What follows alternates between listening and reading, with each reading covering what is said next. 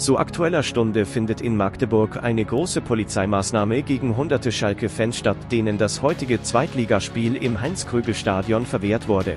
Der Verein Schalke 04 teilte selber kurz vor der Partie auf den sozialen Netzwerken folgendes mit, am Bahnhof Magdeburg-Herrenkrug läuft seit etwa einer Stunde eine Maßnahme der Bundespolizei.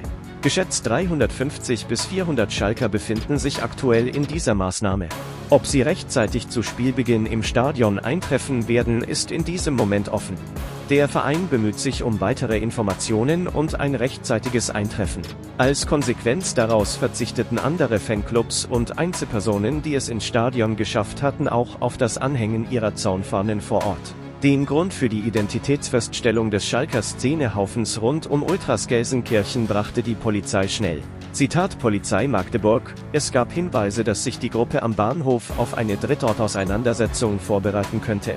Daher finden derzeit Identitätsfeststellungen der Personen durch die Bundespolizei statt. Dass diese Vermutung nicht komplett weit hergeholt ist, sollten alle wissen, die sich an die letzte Spielzeit erinnern, wo Schalke ebenfalls mit einem motivierten Haufen ohne Polizeibegleitung in MD aufkreuzte und es darauf zu einer minutenlangen Boxerei kam, welche 04 für sich entscheiden konnte.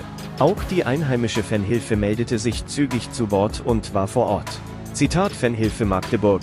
500 weitgeröste Fans von Schalke 04 sind seit Ankunft in Magdeburg-Herrenkrug von der Polizei festgesetzt und haben keinerlei Chance das Spiel im Stadion zu sehen.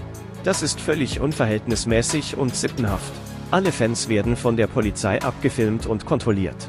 Die Fanhilfe Magdeburg ist solidarisch mit allen Schalker-Fans, die hier Opfer von Polizeiwillkür sind. Ob sich weitere Informationen aus der Kontrolle ergeben, bleibt abzuwarten. Jedenfalls brüten 400 Schalker weiterhin im Magdeburger Polizeikessel in Herrenkrug. Für mehr solcher Videos abonniere doch einfach diesen Kanal.